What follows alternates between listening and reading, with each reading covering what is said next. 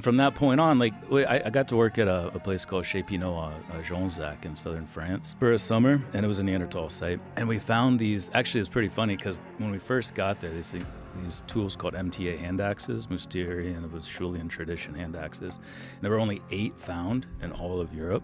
And they said, if you guys find one of these, we'll buy you all the beer and all the cognac you can drink. So we're in the cognac region of France. And we found one like the fourth or fifth day.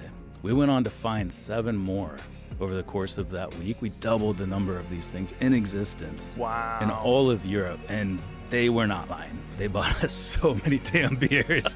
like archaeologists like to drink. You know, that's, sure. we, we, we dig and it's boring as hell. You know, it's not Indiana Jones. We're not running around banging hot chicks and flying on planes. We're like, we got a spoon and we're doing this for eight hours. So, yeah, I actually found the last one on the last day and it was by far the worst one. Like, I had to argue that this is even, it should even count as one of these.